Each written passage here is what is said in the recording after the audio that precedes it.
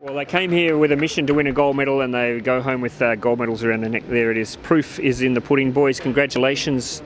Sascha, you first of all, what was it like up there diving on the platform today? It was a pretty awesome competition today. It was a little windy this morning, so it was a little bit difficult, but we did a few a few good dives. Um, I just missed one dive back through North Pike. It was a little bit too much over, um, but the rest was pretty good. So um, I'm very happy about the competition. It's been a long wait for you. It's been a long week for you, hasn't it? Waiting to get in the pool. What's it been like sitting in the stands watching everyone else diving?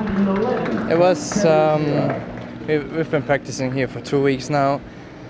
Um, it, was, it was a great two weeks. We practiced like every day. I was like six for two two days in these two weeks. Um, my stomach wasn't that very good, but um, practice was going very well. So yeah, we had fun here.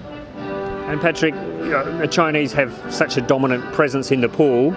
Does it give you a bit of satisfaction to, to knock them off in a in a final like that? Yeah, as you saw, they don't have the the total uh, domination as we got two two synchro gold medals now. Um, although we know that the Chinese are not here with their A team, so but but still we, we did quite a good competition and we're I think we're satisfied with uh, 430 points for preseason diving. That's really good, and we just got here uh, to, to get along with all the conditions you can have outside. Um, that's the main fact we're here for, for preparing for Olympics 2016. And how far off are you the form that got you that silver medal in 2008? Are you close to that sort of form? I know it's early in the season, but you, you, do you think you're, you're within touch of that?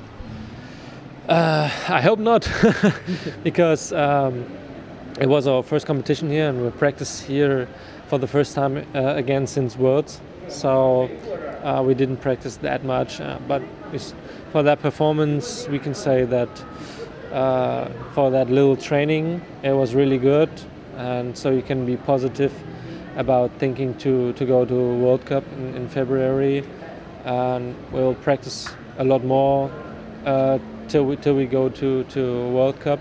Um, we have two more national competitions to prove that, and so I think we're on the right way.